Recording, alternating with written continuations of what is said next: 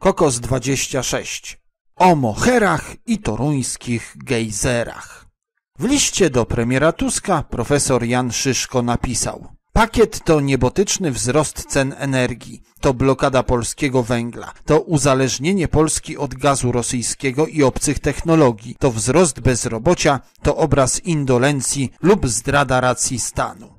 Chodzi oczywiście o tak zwany pakiet klimatyczny i ograniczenie emisji, głównie dwutlenku węgla, co dla kraju posiadającego 90% wszystkich zasobów węgla kamiennego w Unii Europejskiej i energetykę opartą głównie na węglu kamiennym i brunatnym oznacza katastrofę i wzrost cen energii już w 2013 roku o co najmniej kilkadziesiąt procent. Profesor Szyszko w swym liście dopuszcza alternatywę indolencja albo zdrada. Ja takich rozterek nie mam i powiem wprost, że rządy ekipy Tuska to narodowa zdrada. O innowacyjności w gospodarce i jej wspieraniu zarówno Tusk jak i Pawlak mówili setki razy, wycierając sobie tym modnym słowem zakłamane gęby.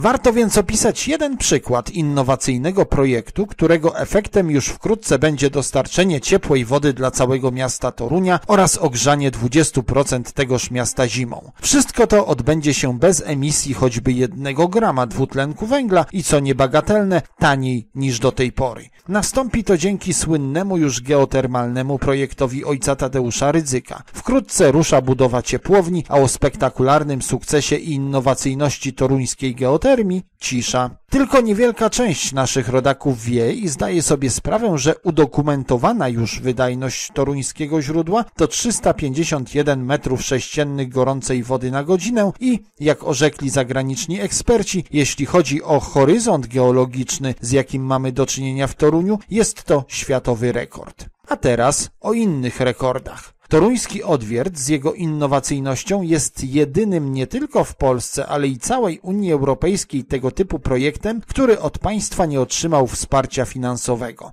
Mało tego, projekt ten od samego początku był zarówno przez rząd Tuska oraz nadymającego media w bezprecedensowy sposób zwalczany, ośmieszany i torpedowany. Czy chodzi tu tylko o samą osobę znienawidzonego redemptorysty i wielkiego patrioty Polaka? Nie, sprawa jest bardziej skandaliczna. Tu, podobnie jak z bezczelnym blokowaniem miejsca na multiplexie dla telewizji Trwam, chodzi o coś więcej. Polacy mają wiedzieć o swojej ojczyźnie tylko tyle, ile dowiedzą się z rządowych propagandowych gadzinówek. Nie wolno dopuścić milionów Polaków do wiedzy o tym, że toruński sukces jest możliwy do powtórzenia w 75% polskich gmin, gdyż mniej więcej pod takim obszarem Polski zalegają gorące źródła i pod tym względem jesteśmy światowym Eldorado. Obce służby specjalne i zagraniczne lobby energetyczne ręka w rękę z rządem polskim działają na szkodę państwa, gdyż obawiają się, że toruńska zaraza może rozszerzyć się na cały kraj i pokrzyżować plany złodziejom i zdrajcom.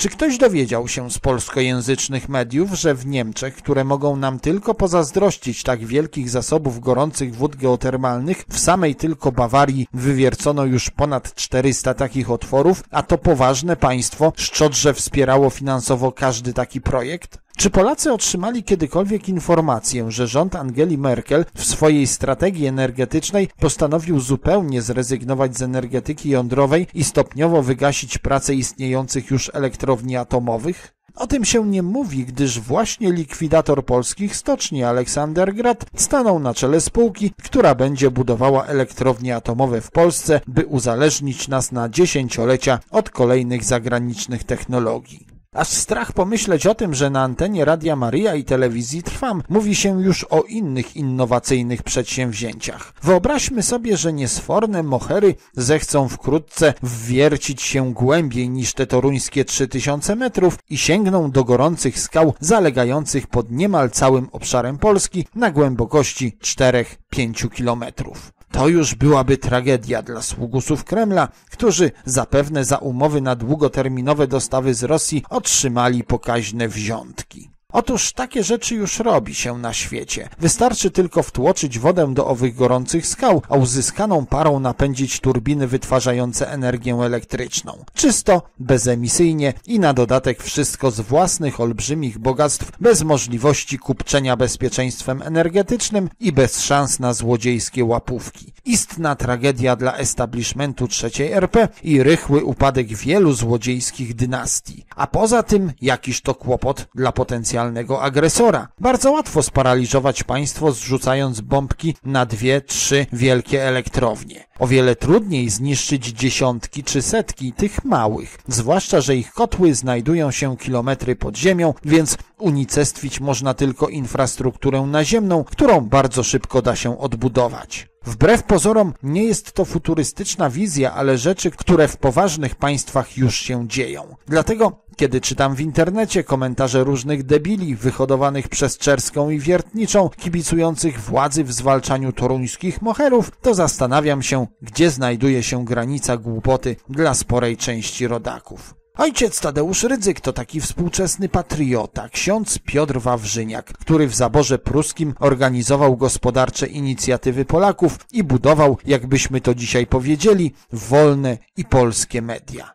Warto przypomnieć słowa księdza Wawrzyniaka kierowane pod koniec XIX wieku do polskich duchownych. Muszą naśladować onych mężów izraelskich, którzy oblężoną Jerozolimę fortyfikowali, dzierżąc w jednej ręce miecz, a w drugiej kielnię dla wznoszenia murów. Tym mieczem jest dla nas praca około społeczeństwa w jednej ręce, podczas gdy drugą trzymamy się ołtarza i krzyża. Kto by z nas zadania swego nie rozumiejąc obydwu rękami trzymał się ołtarza, ten święty zostanie, ale obowiązków całego człowieka nie wykona. Ojciec Tadeusz Rydzyk jest w nieco innej sytuacji niż ksiądz Wawrzyniak, gdyż w trzeciej RP zwalcza go nie pruski zaborca, lecz służący obcym interesom rząd mieniący się o ironio polskim. Już na sam koniec inny, równie aktualny cytat, trafiający, jak to się mówi, w dziesiątkę.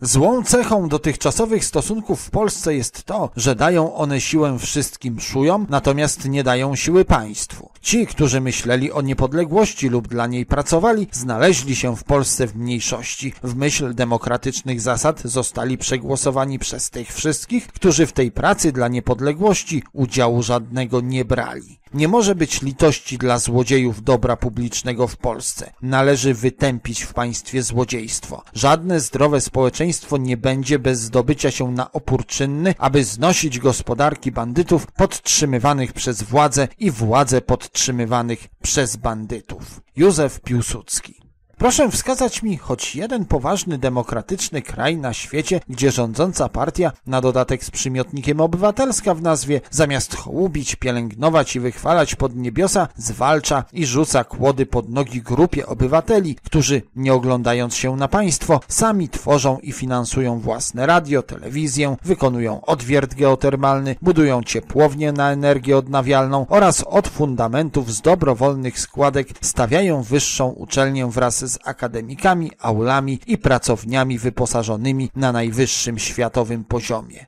Tylko ten jeden przykład każdemu samodzielnie myślącemu człowiekowi nasunie fundamentalne pytanie. Kto nami rządzi? Polski rząd czy zaborca albo okupant? Czytał gadający grzyb.